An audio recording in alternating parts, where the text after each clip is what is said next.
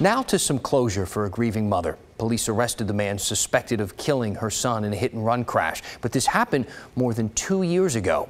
And as KGW's Mike Benner reports, chances are it would still be unsolved if not for a woman who reached out to police. His smile, his laugh, his caring attitude. That's what Linda Hunter misses most about her son, Daniel Ramsey. Ramsey was killed in a hit and run crash more than two years ago. He was a very caring, very special human being. And he had a long life to live, and his and he was loved by lots of people. It was November 26, 2017. Ramsey and his girlfriend were crossing North Fessenden when a speeding car slammed into Ramsey, killing him. His girlfriend was uninjured. Investigators managed to find surveillance video of the suspect vehicle, but they were never able to track down the driver. It's just been kind of rough trying to keep everything together. Years of wondering ended Thursday with the arrest of Luis Silva Echeverria Navarrete. The 22 year old made his first court appearance Friday afternoon.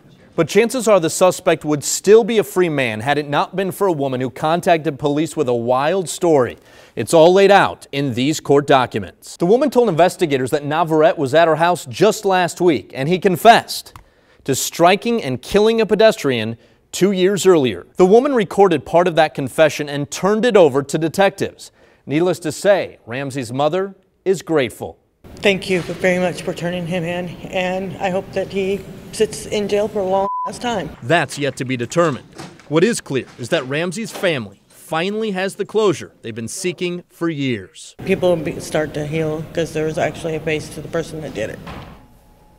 In addition to manslaughter and reckless driving charges, Navarrete is also charged with DUII. Now, you may be wondering how investigators know he was impaired since this happened more than two years ago.